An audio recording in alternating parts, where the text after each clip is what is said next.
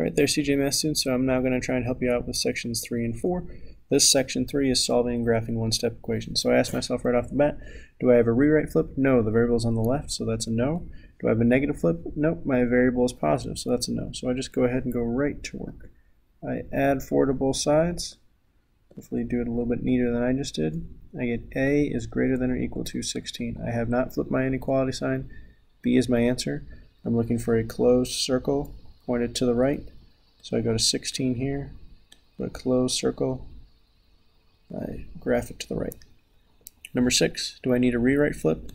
Yes, I do. The variable is on the right-hand side of the inequality. I want to read it left to right.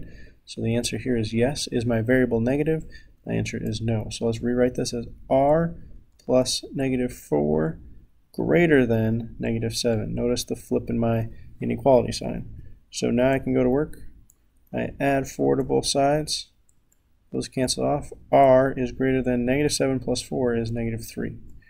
Right? So our answer here is B. That's an open circle pointed to the right. So I go to negative 3, which is on the left-hand side of 0. That is an open circle pointed to the right. Right? Some of you had open circles pointed to the left because you did not flip your inequality sign. Uh, number 7. When we see multiplication, this is negative 10 times some number is less than 90. When we see multiplication, we do the opposite, which is division. So we divide by negative 10. Immediately, because you divide by negative 10, you should say, yes, I should have a negative flip.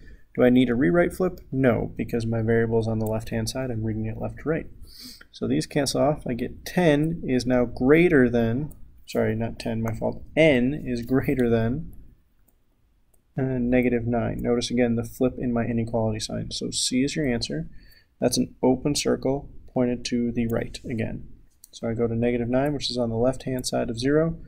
Open circle pointed to the right.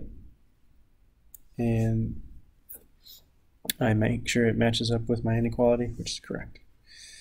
Do I need to rewrite flip on 8? No, I do not, because the variable is on the left-hand side. Is my variable attached to a negative coefficient? No, it is not. So I just go ahead and do the opposite of division, which is multiplication. So I'd multiply by 4 on both sides.